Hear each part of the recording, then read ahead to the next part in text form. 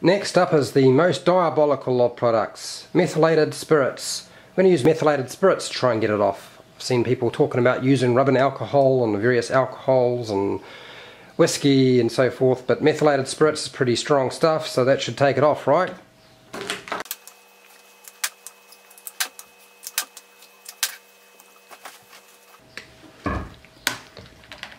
Alright, let's open up our methylated spirits and give this a go.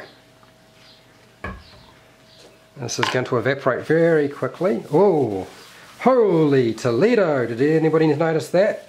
Methylated spirits. Wow, did that take off a lot of ink really fast. The red is gone.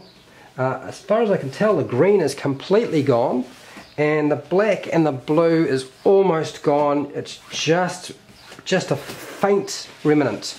So uh, looks like methylated spirits is pretty good. Seems to be the solution to this. Let's see if we can get the black and the green off completely.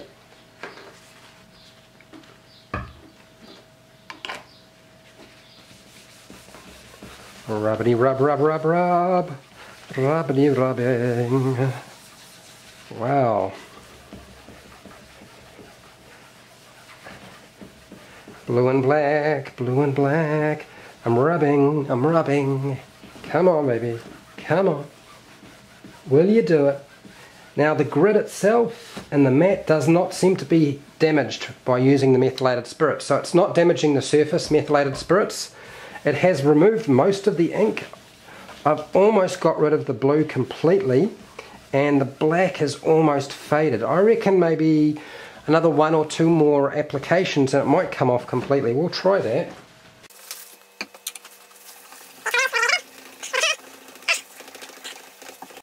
The blue, there's just a slight stain from the blue now. And the black is almost gone. And rubbing harder.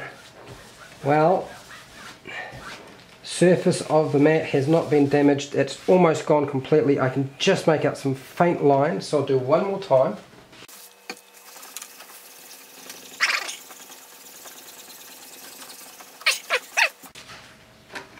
Okay, there it is methylated spirits, four applications, rubbed really hard, hasn't damaged the mat, the grid is still intact, and all of the marks, doesn't matter what colour it is, all come off. So methylated spirits gets a great huge thumbs up for me. Denatonium benzoate. Nothing more to say.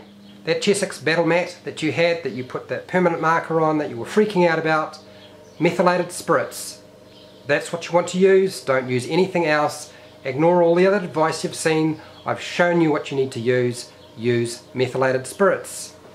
I really hope that people found this video useful and uh, if you did, please share, like and subscribe if you haven't already. Tell me in the comments, what did you do to your Chessex vinyl battle mat? Did you put a permanent marker on there? Did your kids get into the, uh, the felt tips and write on your battle mat? Uh, did you wind up having crayon go on there? Look, I don't know about crayon, but I know permanent marker we can get off.